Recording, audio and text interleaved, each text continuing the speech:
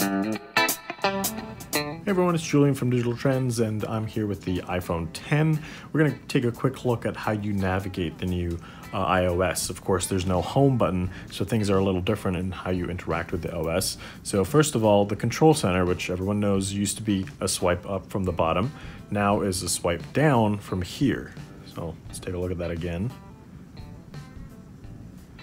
And you can do the same exact things as before, like increase and decrease the brightness and toggle all your other settings. So how do you get the notification book drawer? It's a swipe down from here. It doesn't necessarily have to be from the edge right here. You could actually just do it from the center as well.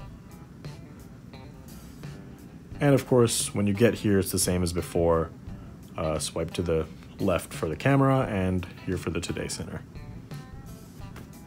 That's the notifications, that's the control center. So how do you switch between apps and how do you go to the home screen, for example? So say I'm gonna Google search something.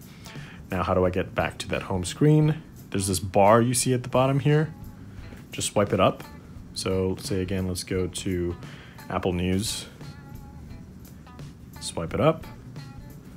And so switching between apps is kind of similar now. Um, what you have to do is press up and hold, and now you can see that there's this list of apps that you can jump through.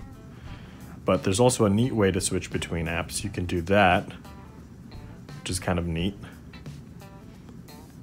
And of course, pressing and holding lets you just quickly go to all of them.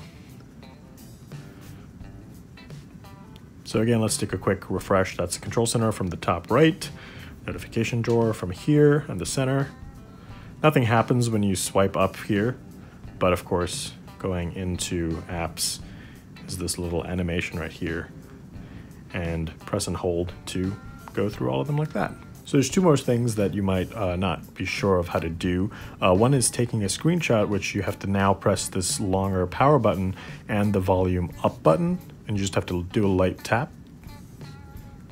And of course with iOS 11 lets you customize those screenshots and save it to your photos. And the other thing is how do you turn off the phone?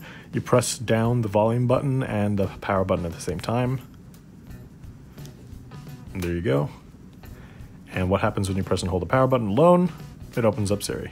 And I have it set to type to Siri, but of course you can always activate the voice uh, Siri when you press and hold the power button.